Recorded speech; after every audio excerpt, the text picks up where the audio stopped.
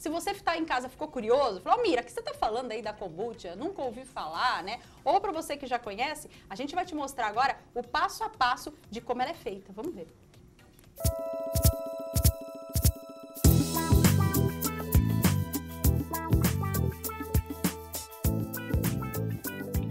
Primeiramente, nós vamos estar fazendo a higienização das nossas mãos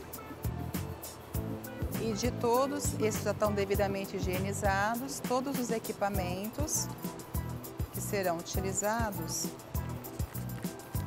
temos que passar o álcool 70 para evitar qualquer tipo de contaminação.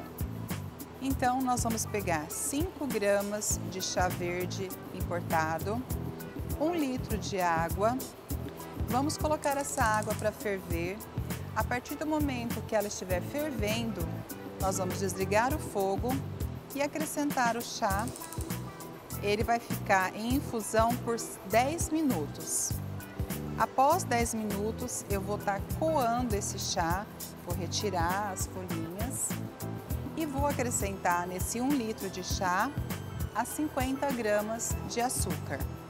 Eu vou aguardar até esse chá, até que esse chá esteja com a temperatura ambiente para que eu possa acrescentar a colônia.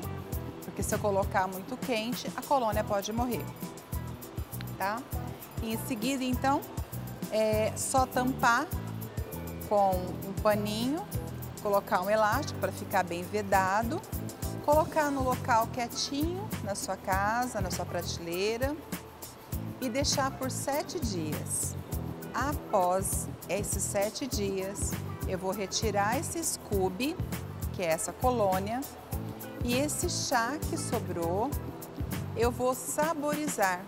Aí eu, então eu posso colocar frutas, sucos de frutas. Então, após essa que a gente chama de saborização, ela vai ficar mais cinco dias fermentando na garrafinha ou no seu recipiente, só que agora fechado com a tampa. Você fecha com a tampa e vai deixar por mais cinco dias.